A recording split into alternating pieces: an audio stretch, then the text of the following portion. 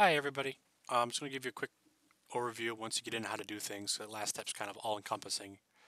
But anyways, you'll start out with a desktop like this. If you don't, it may look something similar to this with the setup, campaign setup. Just next your way through it. Um, actually, you can hit, I'd click all rules just to make sure, but you should see uh, just about everything in here. I don't know why this is showing un unpurchased. It is purchased and the content's there, but anyways, uh, same thing with this Bestiary 5. It's there. I'm Not sure why. Uh, uh, come on, don't crash. Please don't crash. Okay, so don't worry about anything that's not loaded here. I'm going to fix later. Um, yeah, a lot of these things you guys don't need that's showing up. They just I happen to own them. But anyways, uh, just ne- so click that and then next your way through. When you hit finish there, it'll probably take a minute because it's actually going to download and load all of those books. So give it a minute, maybe up to 15 depending on the, the connection speed there. But eventually you should get back to a desktop kind of like this where it's empty. So once you're here, pop open a character selection screen again from here and pick who you want to be. It's only going to show the ones that are available. As the people come in and pick these up, they'll disappear. So for example, if Alexa clicks on her, or Christina picks on Alexa, Alexa's going to pop up here in the corner for her. And if you go back to characters, it'll no longer be there because you guys, it's already taken. If you accidentally click on the wrong character, say Grumples comes in here and goes nuts and she also wants to be Joe, here, it'll pop up here. Once it's here, just right click and release. Then it goes back to whoever it belongs to. Okay? and then I just always lock it so that this doesn't move around the page. Oh, cool. So anyways, the character sheet's going to look like this. When you open it, it'll have all your stuff. If anything's missing, let me know. I know that the languages are missing. I'll get to that in a minute. I just gave Christina Catfolk because she is Catfolk. Anyways, um, so I'll add that. I forgot to all of your abilities and stuff should be in here except for Sarah's because I have to write them. It's going to take me a bit at this because they're not standard, so I got to actually go in here and learn how to add stuff. But anyways, everything else should be done. What you guys are going to be doing is adding your equipment. So you're going to hop down here to inventory. You probably have a couple things here that I gave you already. May not. I don't think I gave Joe anything because I don't know if he's fighting with his hands or with a weapon. But anywho, um, you'll come in here. You'll see you got a thousand gold and maybe a couple things that I've given you for free. I will be adding some other stuff uh, for you guys later. But short short answer is uh, once you have your character sheet character grabbed, you're down to your inventory. Come over here to items. This thing will pop up, and it may take a minute to load the first time because again, it's pulling from like the 30 books that I bought. And you can hop down to here at the bottom or here at the top. There's a couple of pre-made buttons for stuff uh, that you can buy. So say for example I wanted to get a weapon, I could do weapons here or I could just click weapon here and it's going to bring up the weapons catalog or the armor catalog here. And I don't know yet how to make special weapons, but don't worry, you guys can't afford it anyways at this level. Um, you have a thousand dollars to spend. And the only other limit to that is you can't spend more than half at once. So you cannot spend more than 500 in any one item. So you can just come in here and look. These little ribbon looking things are links to more information. Like, I don't know, say you wanted to find out what a Haramaki is, it can show you that it's armor light, AC bonus, and such and so forth. It's on it. The trick to this is to drag and drop from here into here. That way it automatically fills out your character sheet with the information from the weapon. So say, for example, because I know Christina's going to want hide armor. Let's go in here, and we'll find leather, which is the same as hide. There it is. So I'm going to grab that and drag it.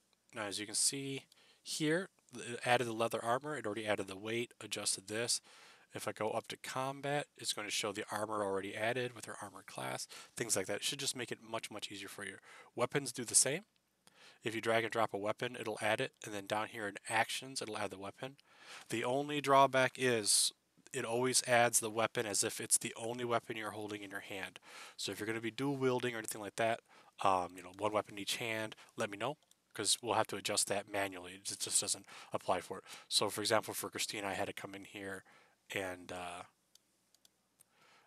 adjust her bonus because she's dual wielding for the penalties for having one weapon in each hand, etc. etc. Don't worry about it. Just let me know if you're going to do that. Mm, I don't think either one of you are. And Joe, your character does dual wielding when it does flurry of blows, but it has a whole different rule set, so we won't have to worry about it. We'll just do that at the time. Again, we're not really using this application much except for get the characters sorted at this point. Okay. Um, that should be everything. I've already got the spells done for everybody. I've already got your special abilities, your skills, your races. Uh, all this stuff is done, so you shouldn't have to. The only thing is just to buy some items, and it's just mostly just going through here and and looking at the, the cool the cool effects. There should be a way of actually browsing the books. I'm just haven't found it yet. As in the books themselves, they're all uh, in here. Oh, there it is. Ah, cool. So yeah, if you want to, you can do it by the book as well. Um, hey, I figured it out. So if you wanted to say, ultimate equipment? There it is. Equipment. There. Armor. And then you can see these are the those are where those tables came from.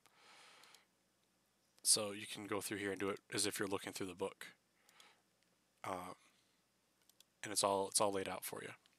Okay, so just a quick quick recap here.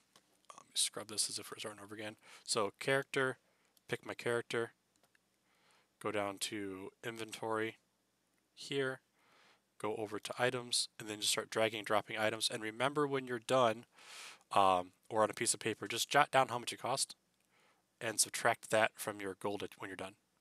Okay. Um, each if something I don't I don't think anything in here is going to be in silver unless you start going some really really uh, cheap cheap stuff like if you start doing adventuring gear and you're doing like a torch. Um, I don't know if they have a torch in here. All right, let's just go with uh, torch. For example, there. Okay, so a regular torch. If I pull this open, it's going to be in copper pieces. Just note that these are all tens. So uh, 10 silver equal gold, 10... What? Why is GS out of there? Oh, gemstones. This uh, should really be renamed to gemstones. There. Okay. And uh, get rid of that. If it comes up with GM or GS like that, ignore it. It's the gemstones. It's for when you guys are carrying cash. I don't know why that's misordered. But anyways, so it's 10 to 10. So 10 copper equals silver, 10 silver equals gold. So if, if Christina decided to buy this, then she would drop this to 999. 10 minus 1 is 99. And then she's got 9 copper left over, like that. And if she bought another one, then of course it would be two of them, and she would have 8. Um, when you see these radios coming up, I'm right-clicking. Right-clicking gives you all the contextual stuff you can do. Again, I'll be going through after you guys are done, and I'll be adding some other stuff, like some cool magic trinkets that you might start with, and I'm not going to charge you for them. So, long story short, grab your character, go to the inventory piece, click on items, and just start dragging dropping cool things you want. And again, if you want to read more up on it, you can click the ribbon and it tells you everything that it has to do with it. Or you can go through the book method, which is, I guess, are considered modules here, and then start looking at magic items like that. These tables will probably be the best way because they're pretty detailed. At least give you a good idea of what it is before you click on it and read through the whole box. Okay? And if you have any problems or issues, let me know, and uh, we'll go from there, okay? Bye, guys.